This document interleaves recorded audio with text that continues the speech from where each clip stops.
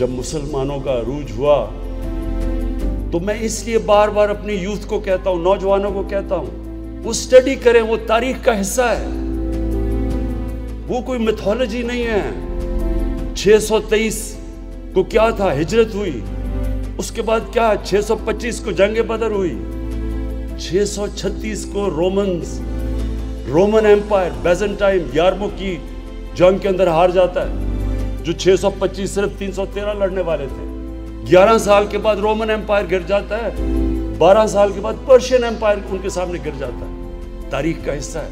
क्या था वो इनकलाब? वो अरब जिनको पूछता कोई नहीं था, दो सुपर पावर्स थी एक तरफ़ पर्शियन एम्पायर, दूसरी तरफ़ रोमन एम्पायर। वो क्या चीज़ उन्होंने की कि दुनिया की तारीख बदल गई?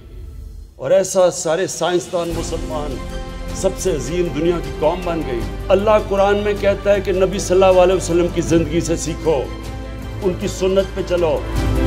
उनकी सुन्नत पे जो इंसान चलेगा, वो बड़ा इंसान बन जाएगा, क्योंकि उनसे बड़ा इंसान कभी आया ही नहीं है दुनिया में, ना आ सकता है।